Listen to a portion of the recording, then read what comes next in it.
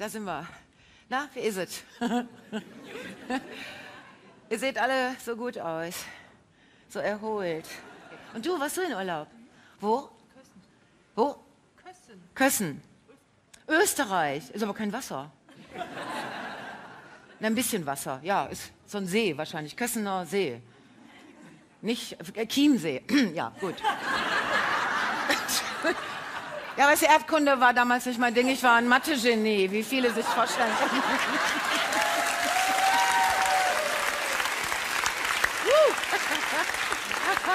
ah. Nein.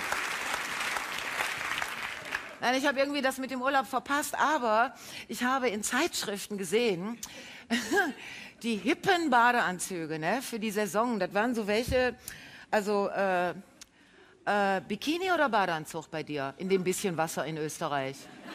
Sag, sag, Bikini? Ach doch noch.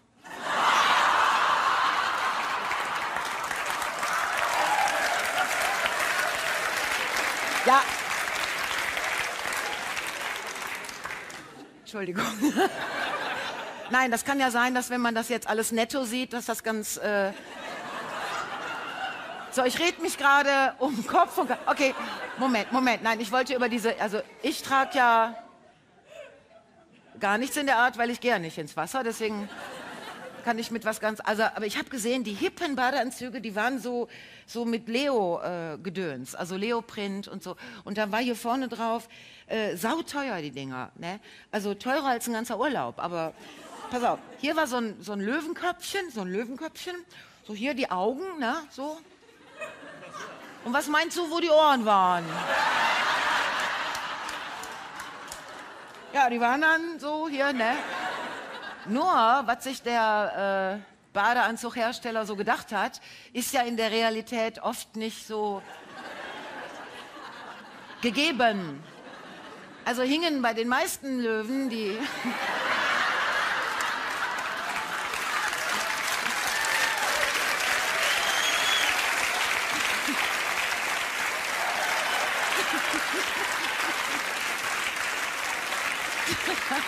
Ja. Da hingen den Löwen die Ohren über die Augen. Ja, so sieht's aus. Das an den Stränden von Italien und Griechenland. Was sollen die Flüchtlinge denken, wenn die da ankommen? Dann müssen die doch als erstes denken, Deutschland, das ist ein Rudel Löwen mit Adipositas. Das ist, was sie denken. Hallo? Ja, willkommen in Deutschland. Ey, sag seit, seit ich aus der Sommerpause zurück bin, drehen alle am Rad oder was hier? Schlechte Neger, wunderbare Neger. Wo sind wir? Deutschland ist ein Einwanderungsland, Ende Gelände, so. Ich habe mich zu Hause... Ich habe mich... ich komme ja aus dem Ruhrgebiet. Ne? So, pass auf.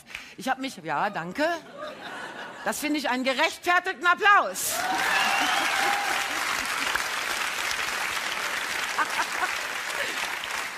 ich habe mich äh, zu Hause erkundigt, ob irgendjemand, den ich kenne, verwandt ist mit diesen beiden Bauern, äh, die vor 150 Jahren das Ruhrgebiet quasi, also die Gegend so, den Acker, äh, ne? Ihr wisst schon, so. Keiner ist mit denen verwandt. Die müssen kinderlos gestorben sein, diese beiden Bauern. Wir im Ruhrgebiet, wir sind ausschließlich Nachkommen von Flüchtlingen. Und zwar von der ganz bösen Art, von der Wirtschaftsflüchtlingsart. Die sind alle ins Ruhrgebiet gekommen, um unter Tage zu arbeiten und damit reich zu werden. Mit dem Reichwerden war ein Scherz. Kann man aber nicht wissen, wenn man nicht aus dem Ruhrgebiet kommt. also ich zum Beispiel, ich habe meine Mutter gefragt, ich komme zu einer Hälfte aus Polen und zum anderen aus Westfalen. Ja, war das schlimmer? ne? Also die Westfalen, die sind ja sehr. Hallo erstmal. Iris Berben zum Beispiel, die kommt aus, ja, aus Ostwestfalen Lippe. Ja, mal, das war das Ende, wo ist das denn? Ne? Da ist ja nichts mehr. Da ticken die Uhren so langsam, da wirst du noch nicht mal älter. Also.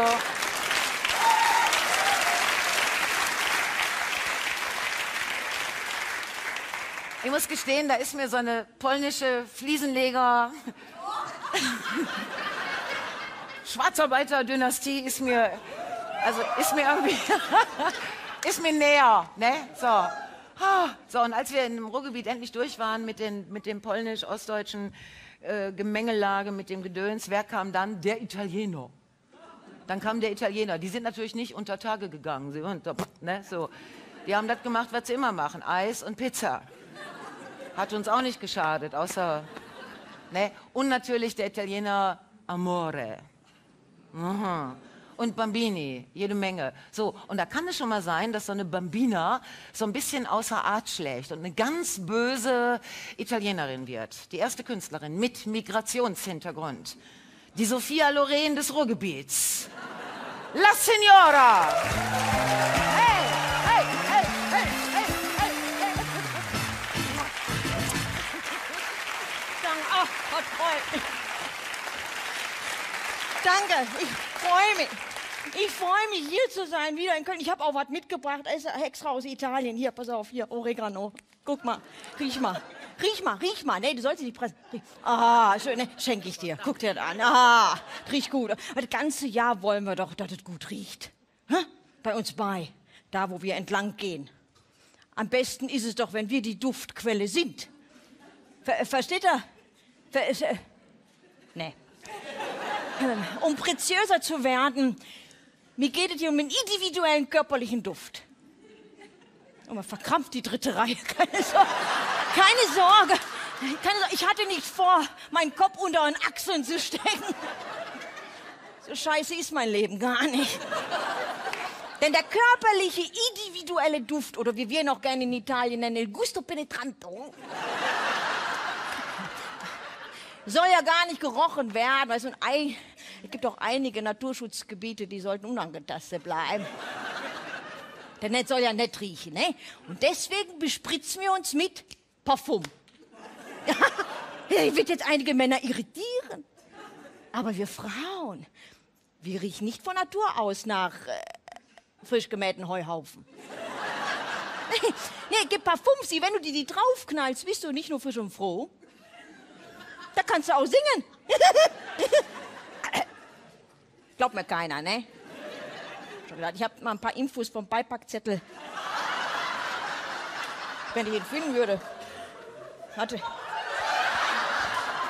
Ah, da ist er.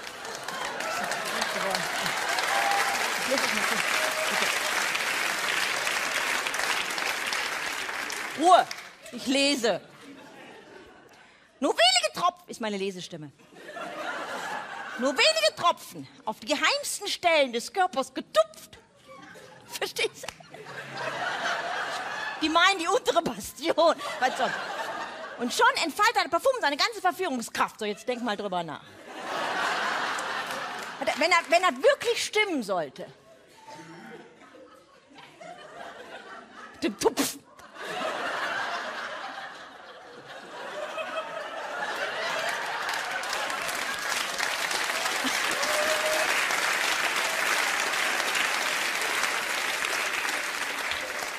einer geheimvollen Stelle. Meinst du nicht, das hätte sich rumgesprochen? Meinst du nicht, dass aufgrund dieser pikanten Information sich Millionen Frauen weltweit literweise Chanel in die Spardose gekippt hätten?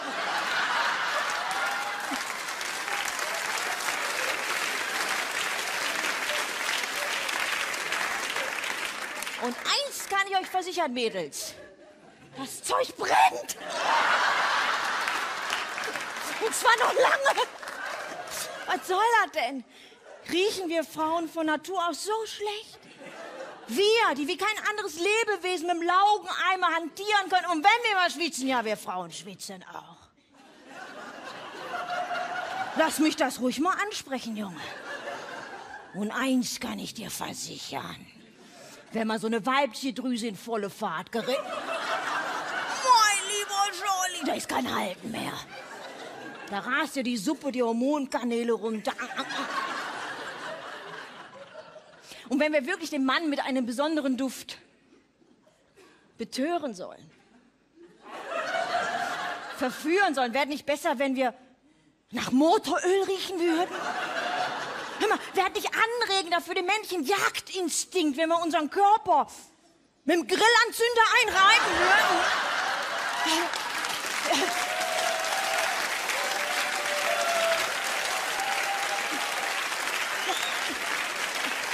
Ich bitte euch.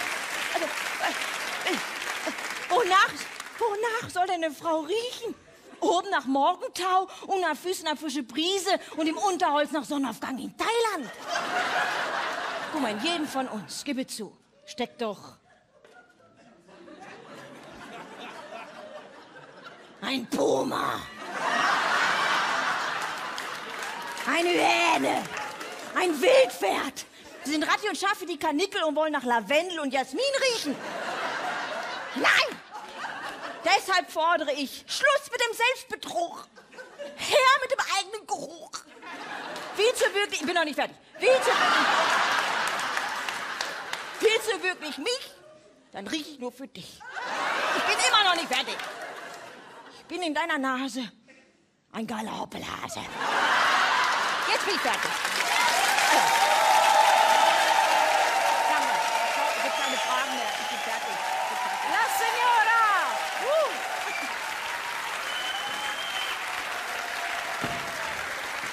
Ah.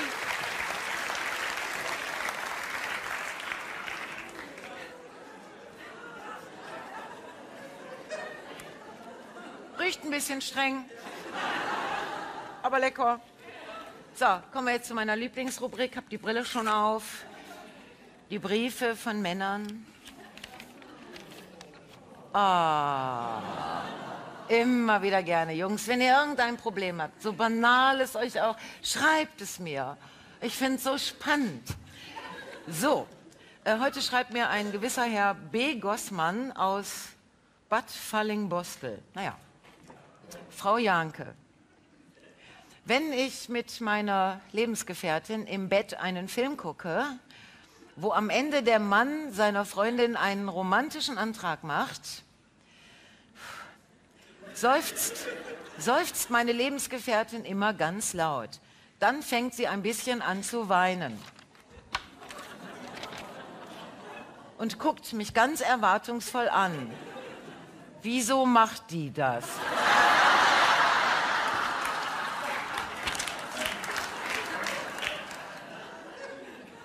Das geht schon seit acht Jahren so.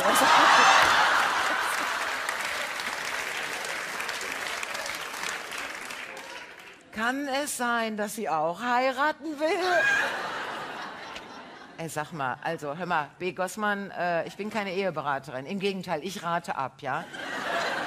Ich glaube, die einzigen, die die Ehe so richtig toll finden, das sind diese 9000 Scheidungsanwälte in Deutschland. Also eine Hochzeitsfeier, die ist ja fast genauso gruselig wie eine Halloween-Party. Nur, dass bei einer Halloween-Party die Gäste in der Regel geschmackvoller angezogen sind. Ich weiß es nicht. Und diese ganzen, diese ganzen jungen Frauen mit Weddingplanern und sauteurem Brautkleid, darunter Unterwäsche wie eine Hafennutte, ne? ja, ne, die, was die vergessen ist, dass wenn die mit diesem Event fertig sind, dass du dann den Mann unter Umständen Jahrende an der Hacke hast. Der, der, der schönste Tag im Leben einer Frau, das kann der Anfang vom Ende sein, meine Damen. Also, und wenn man dann einen B. Gossmann geheiratet hat und dann taucht plötzlich ein A. Gossmann auf. Ein A-Hörnchen. Das ist wie im Restaurant. Ne? Du sitzt mit deinen Freunden, bestellst dir was und dann denkst du, ja, das wird lecker. Und wenn du dann siehst, was die anderen essen, dann willst du das lieber haben. So ist das. Aber komm.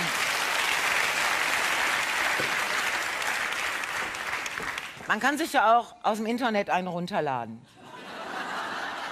Und jetzt mit den 3D-Druckern. Ich weiß noch nicht, was man oben reintun muss, damit unten auch was ordentliches rauskommt. Aber ich sag mal so, ne? Erst kommen Ehe, dann kommen Kinder und dann ist Schluss mit Vögeln, Leute. Aus Berlin, Kirsten Fuchs, bitteschön. Ja. Guten Abend. Ich habe einen Text für Sie mitgebracht über ein Thema, das uns alle etwas angeht, nämlich fickende Eltern. Meine Tochter hat mich letztens gefragt, ähm, Mama, wie, wie war das genau? Äh, hast du mich gebohrt oder hat der Papa dich gebohrt? ja, ich gedacht, beides irgendwie. Ja, fickende Eltern. Zwei Stunden Sonne reichen mir und Krishan schon. Nur ein ganz klein wenig Licht und schon springen unsere Hormone an. Jetzt laufen wir rum und sind verknallt wie die Teenies, sind aber leider keine Teenies mehr, können also nicht schön im Kinderzimmer knutschen, denn das Kinderzimmer ist ja jetzt das Zimmer von unserem Kind. Und wir passen gar nicht zusammen auf das Kinderbettchen. In der Woche müssen wir beide arbeiten und am Wochenende ist die Kleine zu Hause. Klar, es ist schön zu sehen, wie sie aufwächst und das ganze Zeug, aber ficken wäre auch schön. Schon mal notgeile Väter das Geländer an der Rutsche auf dem Spielplatz runterrutschen sehen? Oder notgeile Mütter beim Schaukeln so unnatürlich hoch lachen hören? Es ist ja nicht so, dass wir nur weiteren Nachwuchs machen wollen. Die paar Minuten würden sich schon irgendwie finden. Das Zeugen könnte man, hier finde ich die Redewendung wirklich schön, auf einer Arschbacke absitzen. Aber man will es ja auch mal ein bisschen schön haben, schön, so mit Zeit. Abends ist einer von uns beiden müde und kann gut stillhalten. Da ist auch schon eine Menge möglich. Eigentlich ist das oft sogar besser, als wenn beide aneinander vorbeifummeln und sich weder auf Tempo noch Richtung einigen können. Einfach weil man so aufgeregt ist, dass man mal wieder aufeinander trifft. Dann ist das wie Formel 1, aber einer links rum Nürburgring und andere rechts rum Nürburgring. Oder es ist wie tanzen gehen wollen und einer hat ein Samba-Röckchen an und der andere pfeift Tango vor sich hin. Trotzdem ist es auf Dauer nicht gut fürs Liebesleben, wenn nur einer von beiden wach ist. Richtigen Sex, richtigen Sex kann man am Wochenende während der Mittagsschlafzeiten des Kindes haben. Da wissen die Gegenüber auch Bescheid, wenn man mitten am Tag die Gardinen zuzieht. Die wissen eh viel zu viel. Fairerweise wissen wir auch viel zu viel über die Gegenüber. Krishan sagte letztens, ich solle die Polizei rufen, drüben mache jemand Bewegung, als würde er eine Knarre laden. Nein, der saugt so Staub, sag ich. Aber seine Frau kniet vor ihm, sagt Krishan. Ja, die hat immer einen fusseligen Kragen, sag ich. Aber vielleicht machen die auch was anderes, glaubt Krishan. Nein, informiere ich ihn, dann machen die auch die Vorhänge zu, wenn die was anderes machen. Woher willst du das denn so genau wissen, fragt er. Weil ihre Vorhänge durchsichtig sind, darum. Außerdem mal ehrlich, was gibt's denn für einen anderen Grund, mitten am Tag die Vorhänge für eine Stunde zu schließen? Fotos entwickeln, die Fledermaus füttern oder die neuen phosphorisierenden Pilze mal ausprobieren? Ist doch egal, beschließt Krishan und zieht die Vorhänge zu. Ich kann so nicht, sag ich, wenn die drüben genau wissen, was wir machen. Also Vorhänge wieder auf, fragt er, dann wissen sie wenigstens ganz genau, was wir machen. Ich schüttel den Kopf und sage, guck mal, ich habe einen Dia-Projektor gekauft, der kann einen Film auf den Vorhang werfen. Das sieht man von der anderen Seite und dann denken die, dass wir nur einen Film sehen. Geil, oder? Naja, geil, sagt Krishan, ist was anderes und geleitet mich entschieden und galant zum Sofa unserer Insel der Leidenschaft inmitten einer Wohnung voller klebriger Bälle und zerrissener Bücher. Mit Augen voller Eroberungswillen fummeln wir uns gegenseitig aus der Bekleidung. Schatz, du riechst irgendwie verboten. Nee, da liegt eine volle Windel neben deinem Kopf. Scheint ihn aber nicht gestört zu haben. Er hat eine feine Erektion, hart wie es ist die Holzeisenbahn der Tochter. Wir werfen sie lachend vom Sofa, so leicht sind wir nicht aus der Stimmung zu bringen. Sind deine Brüste gewachsen? Nee, das ist Lottes Stoffball. Aber dein Arsch ist schön prall. Das ist der Kopf von Lottes Püppi. Lottes Püppi ist wie immer nackt, sie liegt unter mir, ihre Beine so nach hinten gebogen, dass es beim Hinsehen wehtut. Ich weiß nicht, sagt Krishan, jetzt will ich irgendwie nicht mehr. Wir machen eine kleine Pause und räumen erstmal das Sofa frei. Geht's wieder? frag ich sensibel. Wir versuchen es einfach. Zu meiner Überraschung geht es sogar sehr gut, also für ihn. Mir geht's doch ein bisschen zu schnell, dass er einfach beim Fummeln an meine Rippe abspritzt. Ach so, er hat sich auf die Salbe mit der Popocreme gekniet. Wir lachen und danach klappt es endlich. Es ist doch wie bei Teenies, wir dürfen nicht so laut sein. Früher schliefen die Eltern nebenan, jetzt sind wir die Eltern und das Kind schläft nebenan. Als wir total entspannt auf dem Sofa liegen, sehe ich, welchen Film der Dia-Projektor abspielt. Eine heftige Liebesszene aus einem Film mit heftigen Liebesszenen. Na toll, jetzt denken die gegenüber, dass wir Sex hatten. Ja, hatten wir ja auch, sagt Krishan. Ja, aber nicht so, sag ich und zeig auf den Film auf dem Vorhang. Fünf Körper in Uniform der römischen Legionäre robben übereinander mit Pfauenfedern im Anus. Ich bin ganz verzweifelt. Jetzt müssen wir vorspulen, damit Sie sehen, dass das ein Film ist, sag ich. Na, dann denken Sie, dass wir ganz schnell Schweinkram machen. Krishan lacht. Ich habe eine Idee, rufe ich. Wir machen einfach den Vorhang auf und dann sehen Sie ja, dass das nur eine Projektion war. Gesagt, getan, schneller als Krishan sagen kann, aber zieh dir vorher noch was an. Ist sowieso egal, gegenüber sind alle Vorhänge zugezogen. Dankeschön.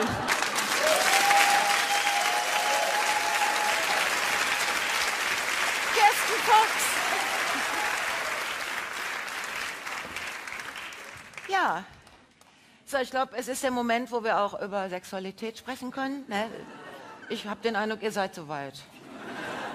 Gut, dann äh, fangen wir mit Viagra an. Liebe Männer, es gibt eine gute Nachricht. Es gibt jetzt äh, Viagra Plus. Das wirkt auch zu Hause.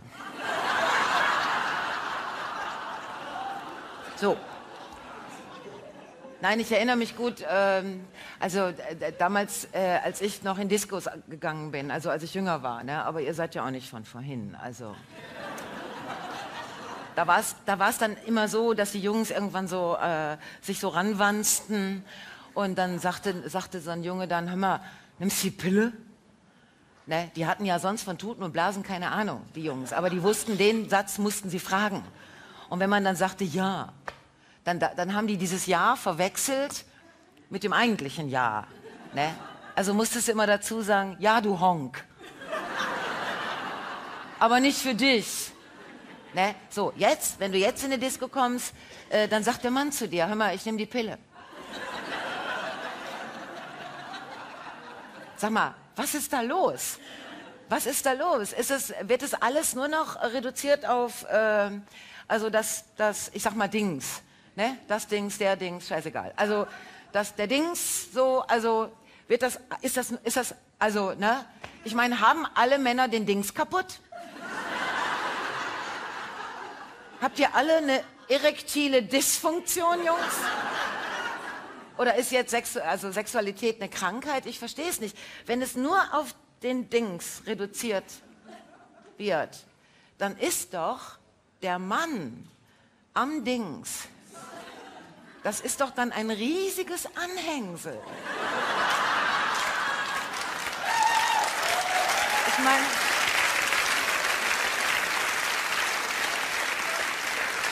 es ist ja, es ist ja oft viel Mann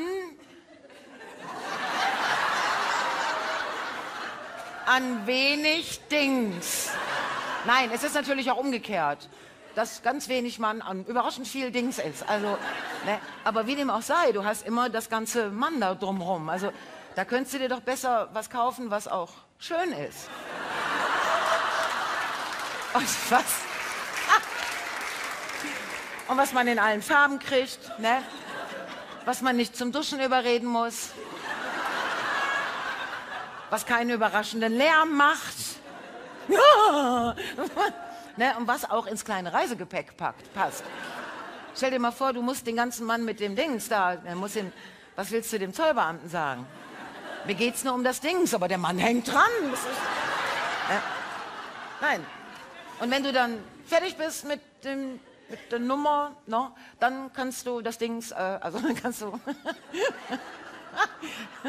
dann kannst du das hm, ne, einfach weglegen und dann was Wichtiges machen. So sieht's aus. So, und und zum Thema, zum Thema Viagra für Frauen. Was soll das machen? Blind?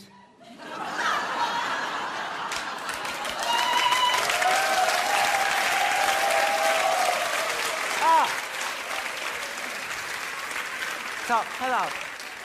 Pass auf. Jetzt kommt eine Künstlerin, die kommt so gesehen von Hause aus aus Italien. Und die ist mit einem Mann da, der braucht, also der kommt von Hause aus aus der Lindenstraße. Ne? Und die haben in zwei Jahren sechs Söhne gekriegt. So. So sieht es bei denen zu Hause aus. Und jetzt erzählt sie eine weitere Geschichte aus ihrem Leben. Margie Kinski!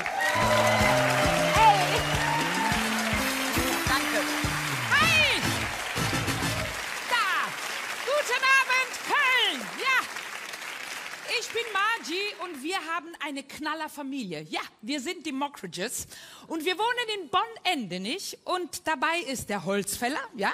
Viele kennen ihn von der Lindenstraße als der Mann von Mutter Beimer, aber in echt ist das mein Alter, ne? Das wollen wir schon mal klar sagen. Dann haben wir unser Oma dabei, meine Mutter, die wird dies Jahr hoffentlich 90, super Oma, ja. Und die Oma hat zwei Lieblingsflüssigkeiten in ihrem Leben. Sie ist sehr katholisch, wie wir alle.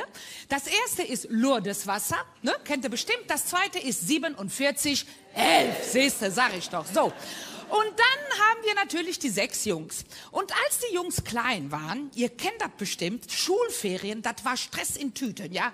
Eigentlich bei uns Stress im VW-Bus. Meine Güte. Bis wir die da alle angeschnallt hatten, ja. Sechsmal Kindersitze. Ich bin Römerin, wir sind immer in den Schulferien von Bonn-Ende, nicht? 18 Stunden mit dem scheiß VW-Bus bis nach Rom Zentrum gefahren. Hör mal, das war Abenteuer pur, ne? Also alle Jungs angeschnallt, dann jeder der Gameboy in der Hände, die Musik in den Ohren, dann jeder sein Schnuffeltuch und wir los. Wir sind dann natürlich immer gerne nachts gefahren, ne? Holzfäller und ich vorne, dazwischen ein Korb mit Kaffee, Cola, alles was wach macht, hinten der Oma, der Oma super mit so einem Tupperdöschen, ne? Drinnen ein Waschlappen. Dieser Waschlappen wurde zu Hause in 47 11 getränkt.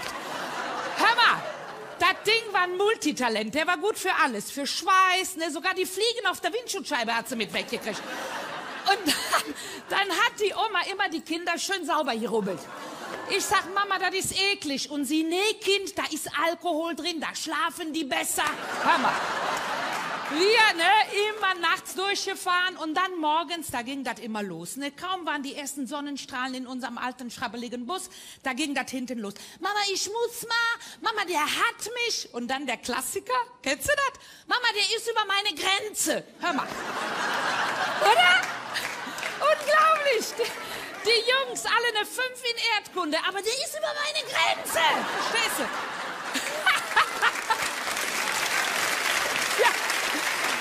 Und ich, ich hab, ich hab immer vorne gerufen, jetzt haltet alle die Klappe da hinten, ich hab meine Droge noch nicht gehabt. Ja, ich bin Italienerin, meine Droge ist Kaffee, ohne Kaffee läuft nichts bei uns, ja. Und der Holzfäller, der hat sich immer lustig gemacht, oh, die Mama hat ihre Drogen noch nicht gehabt. Oh, da müssen wir ja schnell an die Raststätte, sonst rastet die Mama aus ohne die Droge. Also wir, zack, an der Raststätte. Es gab Reisen, wir konnten mit der Sanifair-Bönkchen umsonst frühstücken, Leute. Ehrlich wahr, echt wahr, echt super, ne? Dann, dann alle Kinder, natürlich alle Kinder auf dem Spielplatz, müde machen, ne? dann nochmal Pipi und dann endlich der Gang durch den Shop. Hör mal, das haben die geliebt, ne?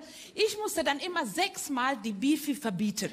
Hör mal, ich hasse die Beefy, oder Mütter? Beefy ist furchtbar. Ich hatte immer so einen Film, weißt du, was eine Beefy für mich ist? Gepresstes Schwein in Kondom. Das ist der Beefy. Ich habe gesagt, nee. Es gibt keine Beefy. Nimm einen Müsli-Riegel, einen Apfel, aber bitte keine Beefy, ne? So, dann wieder schnell aber au- auf das Klo und dann ab in den Bus. Und einmal ist es passiert, wir sind ja nun mal viele, wir fahren los, ne? 20 Kilometer später, von hinten, Mama, Mama, der Jeremy, der ist nicht da, fideralala, fideralala. Ich sag, halt die Klappe, ich unterhalte mich gerade mit dem Papa, ne? Zehn Kilometer weiter weg, der etwas ältere im Sortiment. Ich will ja nicht nerven, ne? Aber der ist ehrlich nicht da. Krass, ey. Pass auf, der Holzfäller, ne? Ruckelt einmal am Rückspiegel, guckt einmal da durch und dann kam von dem Holzfäller ein ganz trockenes, kanadisches, stoisches Oh fuck. So. Hör mal, wenn der, wenn der Holzfäller oh fuck sagt, da kannst du davon ausgehen, da ist Hollande Not, ja? Ich drehe mich um, ich zähle die Köpfe, der war wirklich nicht da. Hör mal, wir fahren die Ausfahrt wieder zurück und so kleine Jungs, die sind perfide. Pass auf, sagt der eine hinten, Mama, wenn der tot geht, kriegst du das Zimmer. Musst du mal vorstellen, ne? Hölle. Ich, ja, wir kommen da an. Ich spring als Erste aus dem Bus. Ich renn in den Tank an der Raststätte. Pass auf. Wer sitzt Beine über Kreuz auf der Theke? Eingewickelt in eine Thermodecke? Ein Berg von Süßigkeiten? Eine Traube von Menschen, Polizei, Jugendamt, alles, was du dir... In jeder Hand ne Beefy. Wer sitzt da und gibt eine Pressekonferenz? Jeremy, ja? Und ich komme angerannt und ich höre, wie der sagt, ja, das passiert bei uns öfters. Ja. Ja, die Mama, die Mama hatte ihre Drogen noch nicht, ja. Ja. Und, und die Oma, die Oma, die rubbelt uns immer mit Alkohol. Ja. Was? Meine Mama, meine Mama, die arbeitet, ja. Was die macht? Also die Mama, die arbeitet nachts, die Männer klatschen und die verdient richtig viel Kohle. Dankeschön! Dankeschön! Dankeschön! Ja! Nazi Kinski! Ja, ich komm zurück. Ja, So. Der Mann, der da bei mir zu Hause in derselben Wohnung wohnt, in der ich persönlich lebe, der ist ja im Moment noch im Garten, aber bald kommt er wieder rein. Ja, da fragt man sich, was machen Männer dann, wenn die langen Winter, was machen die in ihrer Freizeit? Also früher war ja ganz einfach, früher musstest du als Frau ja nur sagen, Schatz, ich habe kalte Füße. Dann hat der Mann sich auf den Rücken geschmissen und ist so äh, wie so eine kalbende Seekuh, hat er sich so unter die Heizung gewälzt und hat diesen Entlüftungsdingens, bis das warm wurde. Ne? So, aber jetzt kannst du ja zu nichts mehr zu gebrauchen. Und damals habe ich ihn immer gelobt, habe ich ihm ein Stück alte Mettwurst im Mund geschoben. Super. Ja, so, ah. Jetzt habe ich natürlich so, aber das könnte so gehen. Das sieht ganz gut aus. Warte, ich mache das hier nochmal. Ja, vielen Dank. Danke. Immer. Stände aufbauen, leichteste Übung. Oh. Nein, weißt du, was der Mann, was der Mann da bei mir zu Hause, was der jetzt, äh, was der jetzt äh, macht? Also, äh, der macht Lego.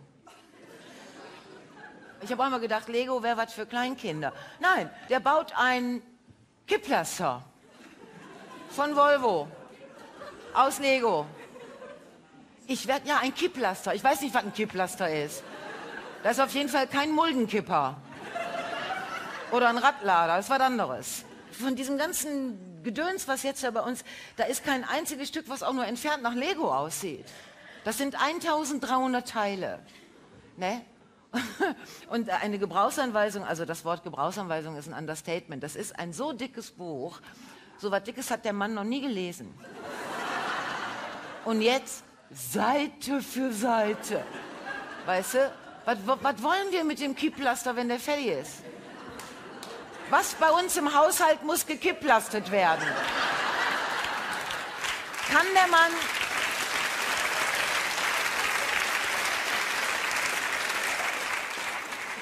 Kann der Mann mit dem Kipplaster die Spülmaschine einräumen? Nein, kann er nicht, kann er noch nicht mal mit ohne. Also, ich nehme dem einfach drei Teile weg.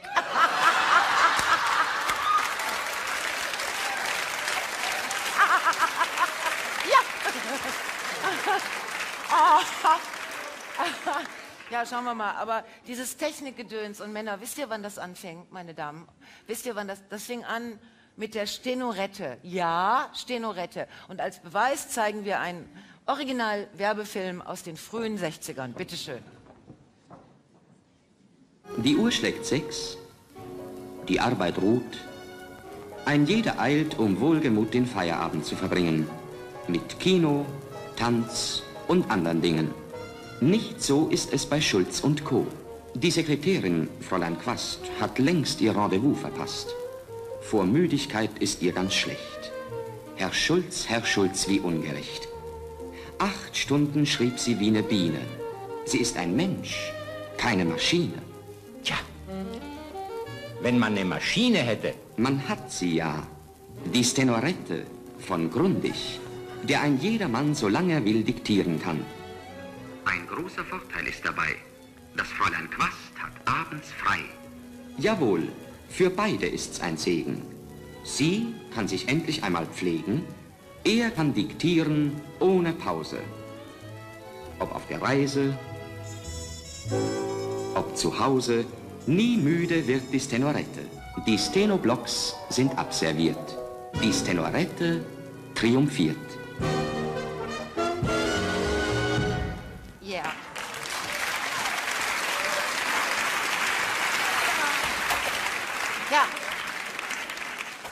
Fing das alles an. Also, meine Damen, ich kann euch nur empfehlen, für die langen, jetzt die Herbstmonate, ne, kauft eurem äh, einen Laubbläser. Nein, aber nicht, nicht einfach so ein, so ein Pipi-Ding für in der Hand zu nehmen. Nein, sondern so einer mit einem Riesenrohr, ähm, was man sich umschnallen muss. Ne? Weil der Rückstoß so extrem ist. Und dann geht ja man tagelang, geht ja, ne? ja. Oder ein aus Lego, egal. So, jetzt kommt eine Frau, die ist nicht nur eine, eine begnadete Musikerin und Singer-Songwriterin, sondern sie ist auch eine witzige Sachensagerin. Und außerdem kommt sie frisch aus dem Urlaub und ist braun und zwar nahtlos aus Hamburg. Katie Franchus! Hey! Kein Problem. Schönen guten Abend. Dankeschön. Ja, ich bin heute in Köln angekommen und in meinem Hotel war eine riesen Menschenmenge. Warum? Die Castings laufen wieder, ne? Super Talent, neue Staffel waren die am Casten. Und ich dachte, Mensch, wenn das kein Wink des Schicksals ist, da machst du mit. Hab mich sofort unter falschem Namen angemeldet und da auch mal mitgemacht. Hallo, ich bin die Tamara. Ich mache Breakdance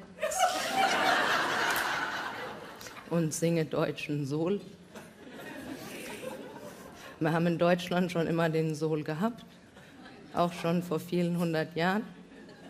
Brauchen wir uns nicht hinterm Amerikaner zu versteckeln.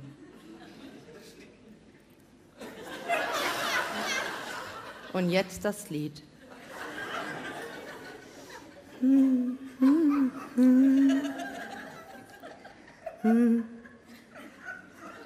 Es klappert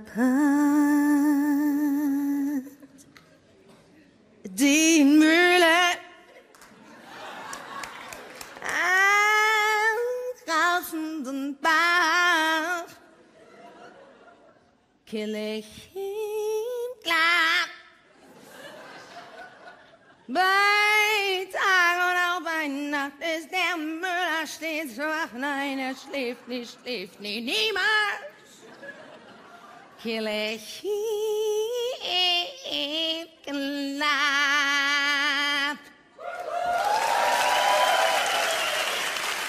Danke, danke, danke. Ey, das ist, das ist so lieb, dass ihr klatscht, aber soll ich euch was sagen? Ich bin nicht weitergekommen. Das ist eine Unverschämtheit. Was soll das heißen? Bin ich nicht peinlich genug? Ja? Es können fast beleidigt werden, oder? Ich meine, was suchen die überhaupt noch in Deutschland? Ne? Man hat das Gefühl, alles, was es an Würdelosigkeit gibt, haben die doch schon abgecastet, ne? Mehrfach teilweise sogar. Oder? Ja. Naja. Nee, ehrlich, ich meine, Tausende von Spacken haben sich singend blamiert. Dabei hätten die eher einen Therapieplatz brauchen können mal, ne? Und tausende junge Frauen haben gelernt, wie man auf den Laufstegen dieser Welt besteht und dass man als Frau nur was wert ist, wenn man eine Figur hat wie eine Stabheuschrecke. Und damit posieren kann, als hätte man ein Inkontinenzproblem. Ne? Mit diesem Gesichtsausdruck, so nicht mehr alle Latten am Zaun, frisch von der Lobotomie.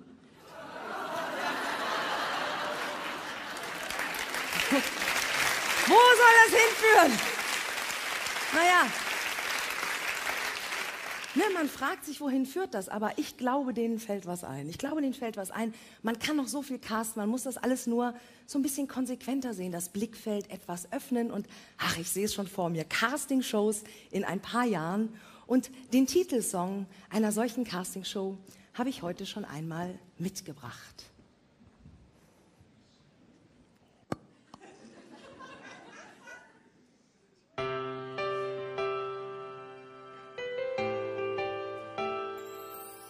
Du bist irgendwo da draußen, bei Tag und auch bei Nacht. Die Flasche ist dein bester Freund, der Himmel ist dein Dach. Menschen gehen einfach weiter, dein Flehen bleibt ungehört. Was sind das bloß für Menschen, die dein Anblick vor dem Kaufhaus stört? Doch jetzt kommt deine Zeit, raff dich auf, mach dich bereit. Deine Träume lernen fliegen, lass die Tüten und den Schlafsack liegen. Deutschland sucht den super Obdachlosen einmal da im Rampenlicht. Das Schicksal übersieht dich nicht. Deutschland sucht den super Obdachlosen. Und wir sind alle mit dabei. Du lebst unter der Stadthausbrücke, hast statt nem Haus ne Brücke, glaubst deine Stunden sind gezählt, weil dich die Erinnerung quält. An vergangene Tage, die echt hart waren, keine Frage. Es ist ein schweres Los, das Obdachlos. Aber hier kommt deine Chance auf ein besseres Leben. Uns haben alle anderen dich auch längst schon aufgegeben. Du steigst wie Phönix aus der Asche, liegst nicht mehr anderen auf der Tasche. Du schreibst Geschichte heute Nacht. Deutschland sucht den super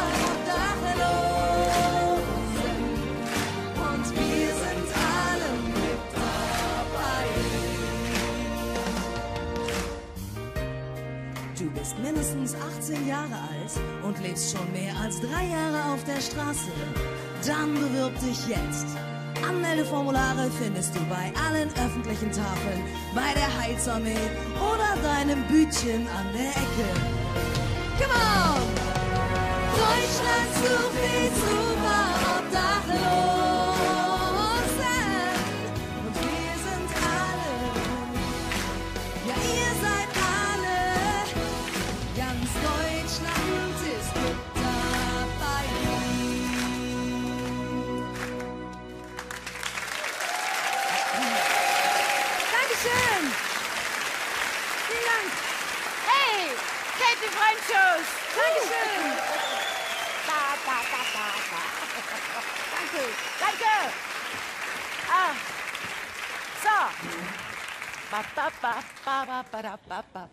So, das war's wieder. War für einen dusseligen Donnerstag doch gar nicht so einen schlechten Abend, oder? Yeah, heute Abend mit dabei aus dem Ruhrgebiet Camila De Feo als La Signora. Aus Berlin, Poetry Slammerin, Kirsten Fuchs. Uh.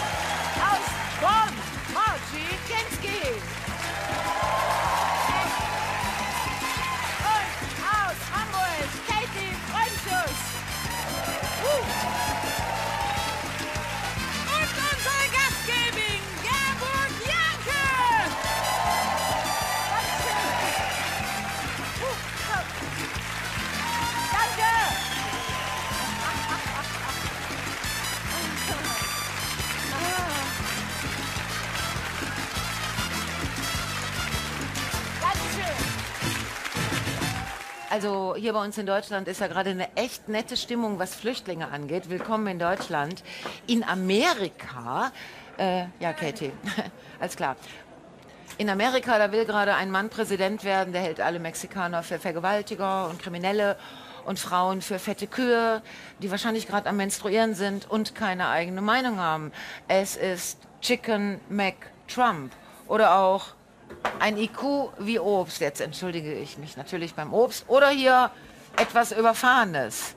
Ich sag mal so, die Amis haben ja die Wahl. Die können ja auch einen wunderbaren Neger wählen oder eine Frau, die schon etwas älter ist, die nicht mehr menstruiert und die nicht Clinton heißt. Und da, Leute, komme ich ins Spiel. Miss President. Motto habe ich auch schon.